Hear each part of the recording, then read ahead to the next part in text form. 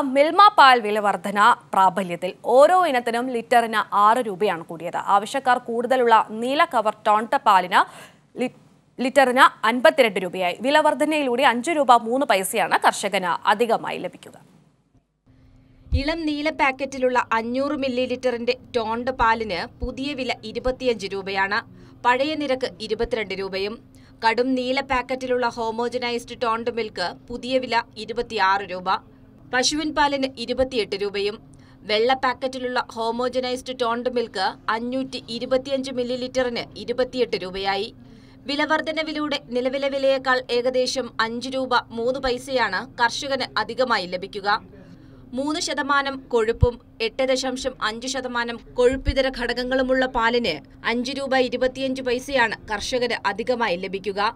ഗുണനിലവാരമനുസരിച്ച് മുപ്പത്തിയെട്ട് രൂപ നാൽപ്പത് പൈസ മുതൽ നാൽപ്പത്തിമൂന്ന് രൂപ അൻപത് പൈസ വരെ ലിറ്ററിന് അധികമായി ലഭിക്കും. കൈരളി ന്യൂസ് തിരുവനന്തപുരം.